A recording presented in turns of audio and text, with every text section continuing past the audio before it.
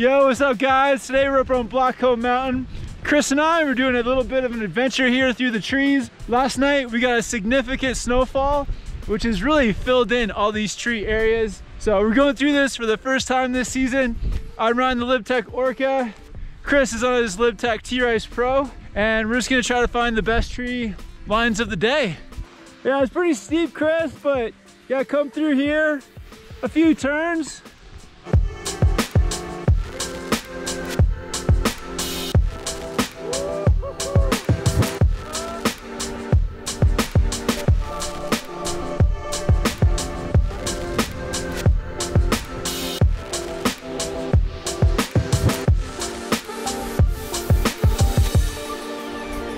right, so hopefully Chris pops out of this.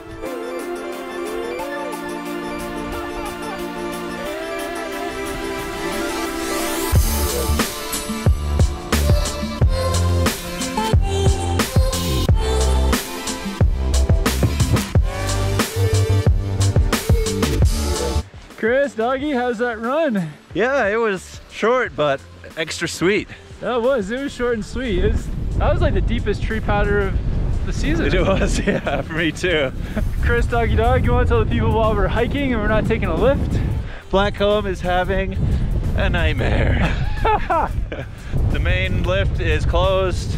All the upper lifts are closed. Some are working. The lift lines are huge. Yeah. They're massive. I meant to be easier to get into a Star Wars movie. Well, that's not saying much nowadays.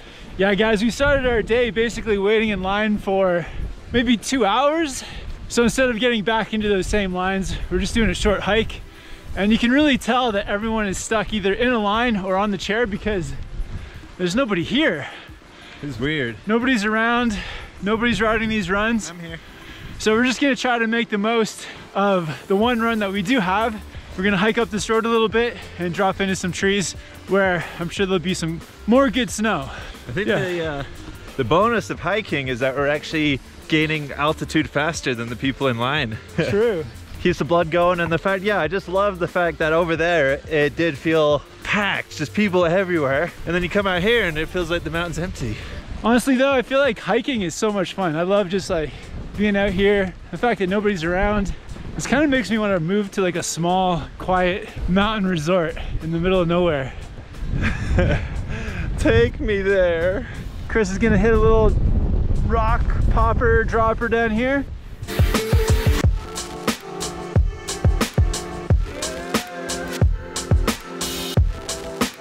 I got my heart going. Gotta go there.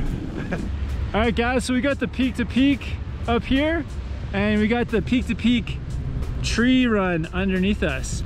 So they actually dug this out when they lifted up the peak to peak cables and it kind of made a natural graded run through here. So it's a bit iffy, but we can see that some other people have done it earlier today.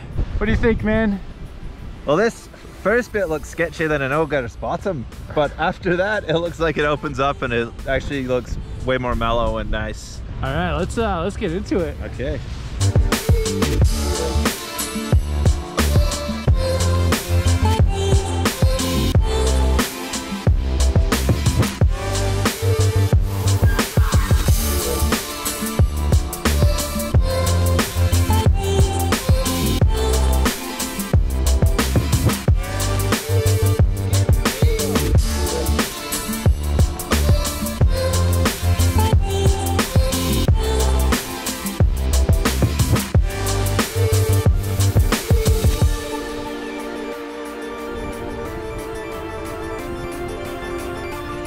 Yeah, Yeah. thanks so much for spotting that line for me. That was great.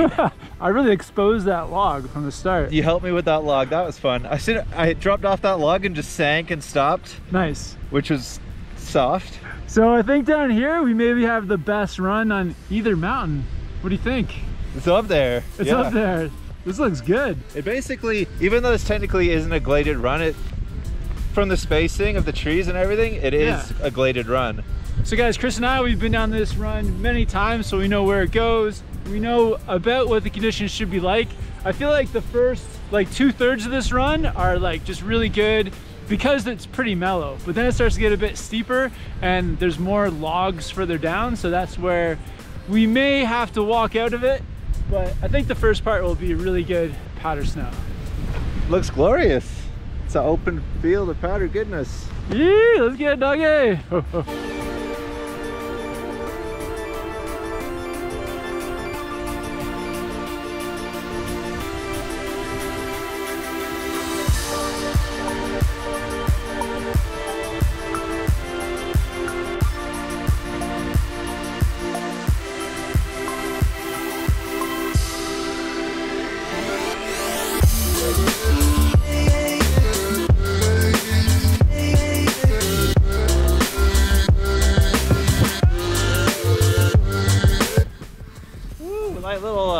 coaster through there. See what's wedge there?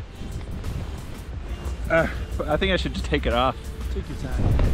It's really wedged. Okay. Hi. Hi. So guys, we've been taking our time going through here, but it's been super fun. I love just being out here, having the trees, the snow, this crazy gondola cable above us. Yeah, it's just pretty amazing being up on a, on a mountain like this. This is what I love to do when I'm out snowboarding. And I believe you me, when we were like 45 minutes into just waiting for one line, all my hope was almost gone. It was holding on by a thread, but this has just brought it all back.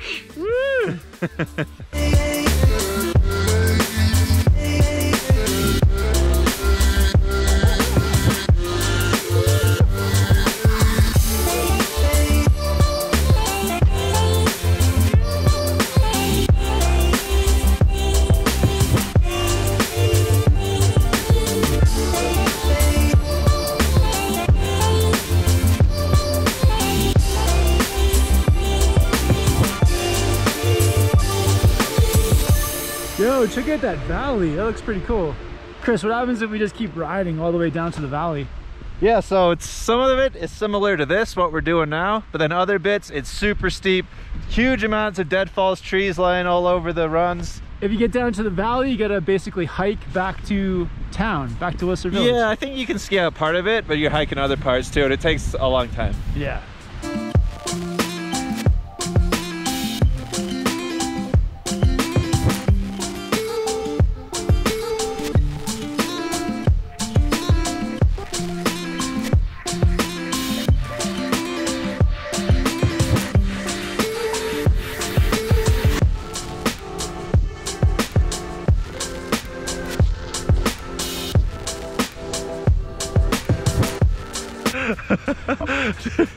Dude, I got a full horn on my head. Kevin told me about this thing. I thought it was just like a little bump, but I saw it in his goggles and it's a full blown horn. That's a sign.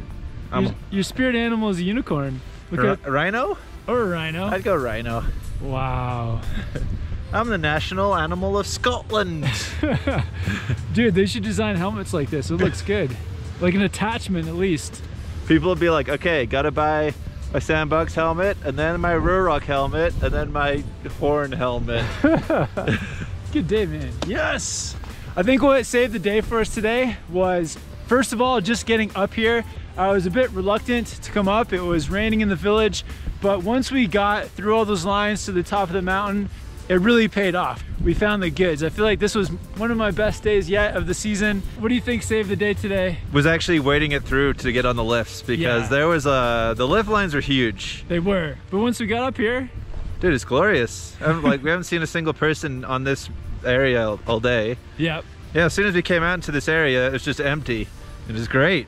Yeah, how was that first pillow? Would you say that's your first true pillow drop of the season? Yeah. Oh yeah, for sure. It was smooth. Smooth takeoff, smooth landing. Worked out well. I couldn't believe it. Someone's shining down on me. And coming down here too, it's like most of it is covered. So lots of fun little drops, little pillows, and Yeah, lots of soft lines. normally this would be flatter. Like there would be less bumps sticking out. So it, it's soft, but there's just more bumps around. Yeah, which actually makes it pretty fun. It does. Yeah, yeah, no, it's cool. Really fun day today, guys. I hope you guys are getting some good snow where you are. If you have any powder day stories, let us know about it down in the comments. Also, here in Whistler, we're getting a cold snap combined with snow. Some minus 30 days coming up. So, some interesting videos coming soon. Minus 30. Yeah. If you guys haven't yet, subscribe here to Snowboard Pro Camp. Subscribe over to Chris's channel. Thank you guys for watching. Have fun with this snowboarding. We'll see you guys soon. See ya from Mr. Hornman. Oh. Rigi.